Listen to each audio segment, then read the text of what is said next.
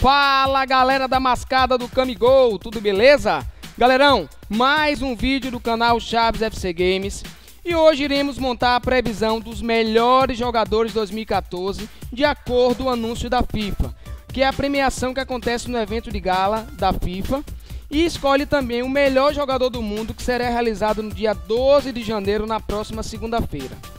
A eleição é feita por atletas do mundo inteiro em votação organizada pelo FIFA Pro que é o Sindicato Mundial de Jogadores de Futebol. E o time que montei é totalmente de acordo com a minha opinião, onde acompanhei alguns jogadores no decorrer dos jogos de 2014. A FIFA anunciou os cinco candidatos ao prêmio de melhor goleiro da temporada, que integrará a seleção elaborada anualmente pela entidade. Entre eles, Manuel Neuer, que é o grande favorito, Cláudio Bravo, hoje jogando pela, pelo Barcelona, Courtois, que fez uma grande campanha pelo Atlético de Madrid, que era emprestado pelo Chelsea, hoje está fazendo também uma grande campanha pelo Chelsea. Casilhas, que não está em boas fases aí no Real Madrid, já tem até sondagem do goleiro Gea para estar tá substituindo Casilhas por algumas falhas do goleirão do, do Real Madrid. Buffon, né? O grande goleirão, mas que já está aí no seu quase fim de carreira, mas ainda joga muita bola. Então são esses os concorrentes.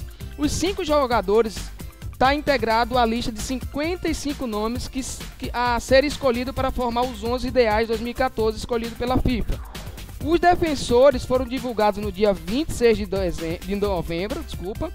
Os meio-campistas em 28 de novembro e os atacantes no dia 1 de dezembro.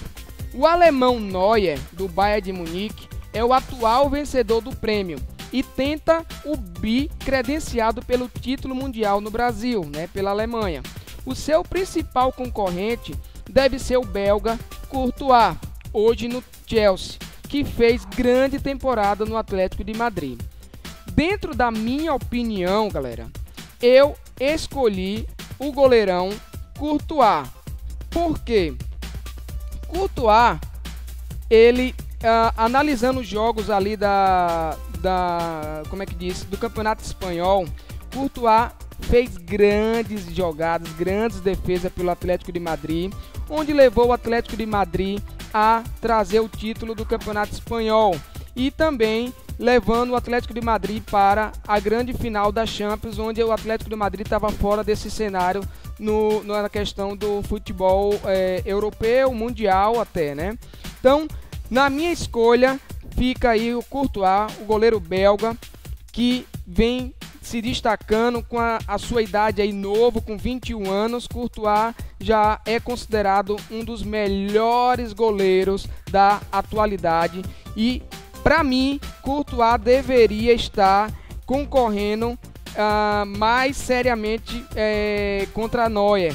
Mas sabemos que Neuer está correndo aí para ser o grande campeão. Então eu sei que Courtois vai estar tá correndo por fora, mas fica aí a minha opinião em relação ao goleiro da, dos 11 melhores do FIFA. Beleza? Então vamos aí agora para a defesa. Na defesa, a minha opinião ficou quase que objetiva e unanimidade aí entre todos, né? Para mim, a defesa o que teve grande destaque no 2014 foi aí o zagueirão do Real Madrid, Sérgio Ramos, onde foi um destaque na conquista do Real Madrid, né? Então, Sérgio Ramos teve grandes atuações pelo Real Madrid, foi destaque uh, no Mundial de Clubes, agora aí no finalzinho de dezembro, em Marrocos. O jogador marcou o primeiro gol da vitória aí por 2 a 0 sobre o São Lourenço é, e, e foi decisivo e foi eleito também o melhor atleta da competição. Onde que o zagueiro também já havia marcado um gol na semifinal, na goleada do, do Real, né, sobre o Cruz Azul, por 4 a 0 e ele tem se mostrado decisivo na temporada, onde que na final da Liga dos Campeões ele foi o autor do gol do empate do Real Madrid contra o Atlético de Madrid, aos 48 minutos lá do segundo tempo, onde que a torcida merengue ficou louca. Então, o tento levou a decisão para a prorrogação, né? E os merengues acabaram ganhando é, sobre o Atlético de Madrid. Então, para mim, Sérgio Ramos hoje é o melhor zagueiro na atualidade. Tem outros jogadores que estão correndo por fora aí, como Hummels, é, Company, Thiago Silva, o próprio Davi Luiz que participou do vexame aí da, do 7 a 1 contra a Alemanha. Mas para mim eu acho que Sérgio Ramos não perde vaga para nenhum desses aí. Então fica a minha opinião para a zaga o zagueirão Sérgio Ramos. Beleza? Vamos aí para o zagueiro do lado esquerdo. Pelo lado esquerdo, galera, eu tive uma opinião que pode gerar algumas reivindicações entre os inscritos. Mas na minha opinião, o grande zagueiro que se destacou na temporada passada foi o zagueirão do Atlético de Madrid e da seleção uruguaia, Diego Godin. Diego Godin foi peça fundamental na sólida defesa do Atlético de Madrid, na seleção uruguaia, na Copa do Mundo. Então, para mim, Godin é um zagueirão e tanto. Claro que tem uns que acham que ele não é o mais técnico do mundo, mas não podemos negar que mesmo assim ele está entre os melhores de sua posição. Porque para mim o diferencial de Godinho é é a sua vontade, é a entrega a cada bola que ele tem a dividida, é, é, é, a forma como ele consegue ser decisivo em suas subidas ao, ao ataque e foi suficiente para dar o título ao Atlético de Madrid no Campeonato Espanhol e ressuscitar a sua seleção pela Copa do Mundo, que acabou classificando a seleção uruguaia para as oitavas de finais. Então, fica aí minha opinião para o grande zagueirão Diego Godin, que teve grande destaque no ano de 2014. Como já falamos, tem outros correndo por fora, né? Como o Hummels, que não está em boa campanha pelo Dortmund, não está tendo boas atuações, mas ele teve grandes atuações na temporada passada. Tem o próprio Thiago Silva, que fez grande campanha pelo Paris Saint-Germain. Tem o próprio Davi Luiz. Mas eu acredito que os zagueiros brasileiros não vão ter é, um, um, uma chance pelo vexame da Copa do Mundo, onde perderam por 7 a 1 da Alemanha. Tá bom, galera? Então, essa é minha opinião do zagueiro pelo lado esquerdo, dos 11 melhores do é, do mundo pela FIFA. Pela lateral direita, fazendo ali companhia com o zagueirão Sérgio Ramos. Na minha opinião, galera, é indiscutível. O grande lateral que fez grande campanha no ano passado foi o lateralzão lá do Bayern de Munique. Ele, Felipe Lan, que jogou muita bola pela Alemanha pela Bayern de Munique. Ao que parece, é preciso se acostumar com a ideia que Lan seja efetivo, é, efetivado como volante no Bayern. Por mais que na seleção ele vai continuar na velha posição como lateral.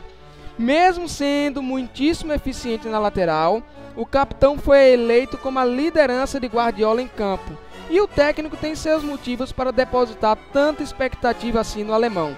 Lan se destaca com certas qualidades. Para mim, Lan tem inteligência acima da média, precisão nos passes, possibilidade de acelerar o jogo e boa capacidade de cobertura. Eu acredito que Lan não vai ser escolhido nos 11 como médio defensivo. Ele vai cair ali pela lateral direita, é, pela questão de estar tá atuando nessa posição na, pela seleção e onde foi campeão é, mundial né, pela seleção alemã. Então acredito que não vai ter outro para poder competir com ele, porque em termos de laterais não foram assim a, a, os outros jogos, como Daniel Alves caiu muito rendimento, Pablo Zabaleta do Manchester City, aquele cara que é da média para baixo, não é aquele cara assim, também já está quase no seu fim de carreira.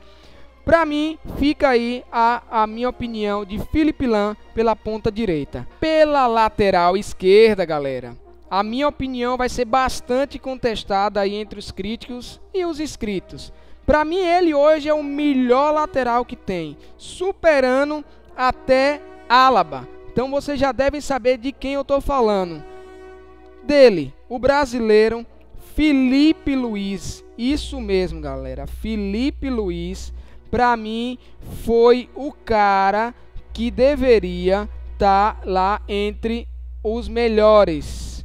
Os melhores, eu estou falando. Entre os 11 melhores. Felipe Luiz, nas duas últimas Copas do Mundo, passou perto de estar na seleção, né? Na, na, na em relação ao final do, dos 23 jogadores para a disputa do torneio. Porém, acabou ficando fora das duas competições. Para mim, o lateral esquerdo foi um dos principais jogadores do Atlético de Madrid que superou os limites técnicos e financeiros em relação ao Real Madrid e Barcelona para conquistar o primeiro título do Campeonato Espanhol dos Contioneiros em 18 anos, além de fazer uma grande campanha na Champions. Então, para mim, Felipe Luiz deveria estar no 11 melhores do FIFA, da, da, da FIFA, né? Então, eu acredito que ele possa, ele tem a chance de superar a Álaba, se bem que Álaba também vem jogando muita bola, mas uh, o que eu acredito porque Alaba, eh, eh, eu tenho a pretensão que Alaba vai estar tá superando ele, porque como Felipe Luiz não participou da Copa do Mundo e nem Alaba, mas é, a Alaba acabou te, tendo grande destaque no Bayern de Munique, né, é, no cenário europeu. Mas para mim, na minha opinião, Felipe Luiz teve destaque e tinha chances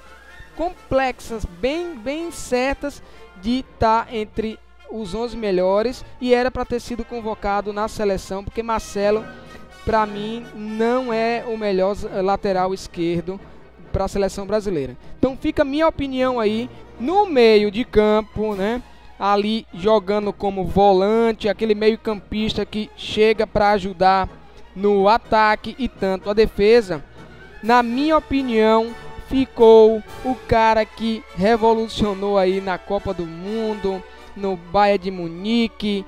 É ele, eu tô falando do grande alemão Schweinsteiger, que jogou muita bola pelo Bayern de Munique e pela seleção alemã na Copa do Mundo. Para mim, Schweinsteiger é um meio-campista, volante, um médio ofensivo que chega ali. Ele faz essas três funções com grande capacidade para fazer saída de bola pelo chão, com passes precisos e para se aproximar da intermediária adversária, controlando a segunda bola.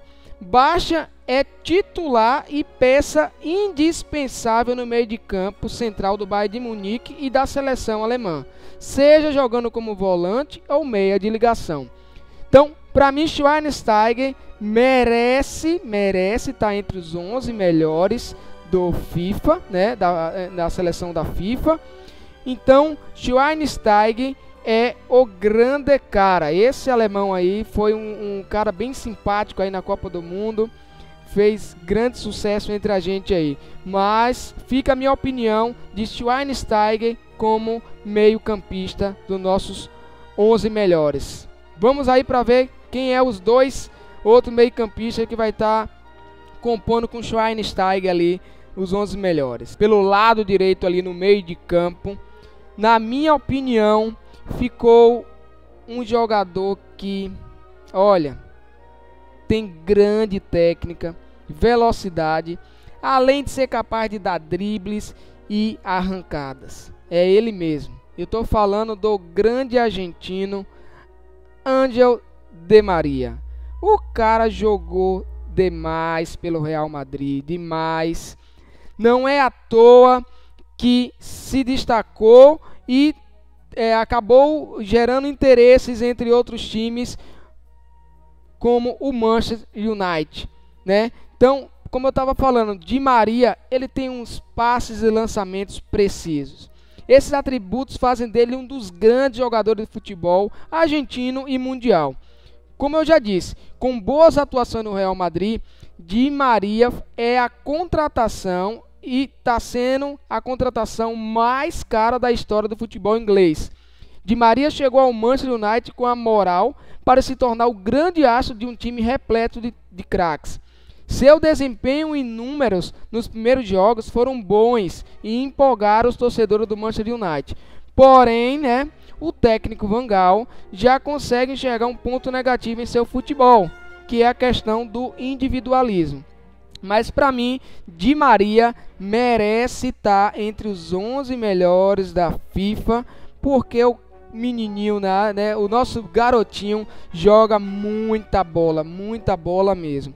Então fica a minha opinião aí de Di Maria é, fazendo ali a, a, juntamente com com Schweinsteiger, o nosso meio de campo, dos nossos 11 melhores. Vamos ver ali quem é que fica ali no meio de campo pela, pela esquerda, juntamente com Di Maria e Schweinsteiger. Pela esquerda é um cara que possa ser que gere uh, algumas contestações né, entre a galera. Mas, galera, quem eu vou estar tá colocando aqui agora, eu duvido, eu duvido que esse cara não esteja aí entre os 11 melhores. Isso aí eu tô falando sério mesmo. Possa ser que alguém conteste isso aí. Mas, Pogba, olha, o cara tá jogando muita bola muita bola mesmo. Pogba foi a revelação da Copa do Mundo, está em alta no cenário mundial do futebol, com grandes atuações pela Juventus, tem despertado interesse de grandes times, né? For, é, é, formado na escola do Manchester United. É um, o jogador francês é um dos jovens mais promissores do futebol europeu. Contra todas as expectativas, Pogba afirmou-se na Juventus Logo na sua primeira época, a sua qualidade de passe, visão de jogo, força e cultura tática foram demais evidentes para que o treinador da equipe da, de Turim não desse uma oportunidade ao, jovem, ao jovem francês. Né? Mas, com golos fenomenais e assistências milimétricas, o médio desde cedo cativou os adeptos italianos, tornando-se, vamos dizer, um dos seus favoritos. O futuro do francês parece estar entregue à Juventus, mas, mas clubes como Chelsea, o Manchester City e Paris Saint-Germain não desistem das mais recentes estrelas do futebol mundial. E Pogba é um deles. Pogba é o francês que tem que estar tá entre os 11 melhores da FIFA. Essa é minha opinião. É um cara que, que vai estar tá, daqui a 2, 3 anos vai ser um dos melhores meio-campistas do mundo. Pode escrever isso daí. Vamos aí agora o nosso ataque, como é que vai ficar aí, quem é que vai vir. Eu acho que vocês já devem deduzir quem é que possa vir aí pra frente. Vamos lá. Ali na frente, galera, formando o trio de ataque, é, eu tô colocando ali um médio ofensivo, mas o cara que eu vou colocar aí, ele pode jogar como atacante, segundo atacante, ele é fenomenal. Eu vou opinar e eu acredito que ninguém vai discordar de mim. Na minha opinião, e ele vai estar tá entre os 11 melhores, sem contestação de ninguém, de ninguém. É ele, mais um argentino que Vamos dizer que tem alguns que gostam, outros não gostam, mas não adianta, é ele, Messi. O cara joga muita bola, não tem discussão, não tem discussão, né? É tanto notícia em primeira mão, hein? Notícia em primeira mão. É, hoje eu tô gravando esse vídeo aí no dia 8. Acabou de sair uma notícia onde que o futebolista mundial Messi está na mira do Chelsea. E já existe proposta. O Chelsea está disposto a pagar a cláusula de rescisão de Lionel Messi, oferecendo ao Astro do Barcelona um contrato de seis temporadas, né? Fonte de grandes jornais do mundo. Hoje, dia 8, na quinta-feira, Messi é a notícia do futebol. Só para você ter ideia, aqui ó, a notícia do jornal britânico adianta que o clube que tem José Mourinho à frente da equipe principal avançará com 250 milhões de euros para assegurar o internacional argentino que está descontente no clube catalão. Isso são fontes próximas do Barcelona já adiantou que os Blues estão preparados para satisfazer as pretensões salariais de Messi. Então, galera, Messi é um jogador que todo mundo queria ter, né? Até o próprio é, Real Madrid, o próprio é, é, o, o Manchester United, o Manchester City que também está aí assediando, mas vamos ver mais para frente como é que fica a situação de Messi que o cara joga muita bola, já foi muitas vezes o melhor do mundo e esse ano não tá, né? Ali, eu acredito que ele não vai, não tem muita chance para é, Cristiano Ronaldo é a bola da vez. Para mim, Cristiano Ronaldo é a bola da vez. Mas Messi está aí entre os 11 melhores, na minha opinião, e com certeza vai estar tá entre os 11 melhores da FIFA. Vamos ali agora para o nosso dois atacantes. Um possam ser que vocês é, se surpreendam com minha opinião, mas é um cara que para mim joga muita bola, jogou muita bola na temporada passada. Ali, galera, atacante pela direita, vocês podem até contestarem a minha opinião. Prestem bem atenção, vocês podem até contestarem. Mas ele Olha, eu, eu fico até sem palavras para dizer, mas Diego Costa, ele mesmo, Dieguito Costa, deveria, galera, deveria com certeza estar entre os 11 melhores da FIFA. Por quê? Diego Costa foi um grande destaque aí no Atlético de Madrid, jogou muita bola, muita bola mesmo, mesmo, pelo Atlético de Madrid na temporada passada. É tanto que é, o Atlético de Madrid, é, de graças às atuações de Diego Costa, onde ele foi mortal, não perdia gol mesmo, né? Se bem que agora Diego Costa foi contratado pelo Chelsea e se bem que ele tá fazendo gol, tá metendo gol lá no Chelsea, é o artilheiro do campeonato juntamente com Agüero. Então, Diego Costa foi contratado por 32 milhões de libras né? Já soma 14 gols na Premier League. E o artilheiro do Blues na temporada mostra cada vez mais que é o homem que a equipe precisava para resolver os problemas no ataque. Então, resolveu os problemas do Atlético de Madrid e vai resolver também os problemas do time de José Mourinho, que não conseguia é, resolver é, isso na, não conseguiu resolver na última temporada. Né? Então, é tanto que o Diego, uh, o Chelsea tinha lá de Diego Didier Drogba, que é uma lenda no Chelsea, por tudo que fez pelo time, mas Diego Costa também pode chegar a esse patamar. Afinal de contas, ele tem cacife e capacidade para isso daí. Então fica aí Diego Costa, brasileiro naturalizado espanhol, se bem que pela Copa do Mundo a Espanha não teve grandes atuações, Diego Costa também não teve as melhores atuações, mas ele tinha vindo de uma lesão, mas para mim Diego Costa merecia estar entre os 11 melhores da FIFA. E vamos lá para o nosso último garotinho. E se vocês adivinharem, eu pago uma caixa de Big Big e pirulito pop para vocês aí, se vocês adivinharem quem é que eu estou falando. Vamos lá para o próximo atacante. E é isso aí. Não tem discussão, indiscutível. Eu vou resumir em poucas palavras, em, em, em duas linhas, quem é que eu vou opinar ali. Né? Ele vai ser o melhor do mundo. É indiscutível, vai ser o melhor do mundo. Não, não tem contestação nenhuma. Eu estou falando do português CR7 não tenho o que dizer. CR7 ele vai sim conquistar o título do melhor do mundo pela, pela FIFA e sem discussão vai estar entre os 11 melhores. Eu vou resumir Cristiano Ronaldo. Foi o artilheiro do Campeonato Espanhol com 31 gols. Bateu o recorde né, de gols pela Champions League também está concorrendo ao melhor jogador do mundo da FIFA e sem comentários. É um jogador galáctico das picas das estrelas. Então, quem acertou, me bota nos comentários aí que eu vou pagar uma caixa de Big Big e um saco de pirulito pop, porque Cristiano Ronaldo é o cara. Então é isso aí, galera. Não esquece de deixar aquele bom e velho like da mascada do Camigol. Deixem também o comentário de vocês. Quem que vocês acham que deveria ser os 11 melhores da FIFA.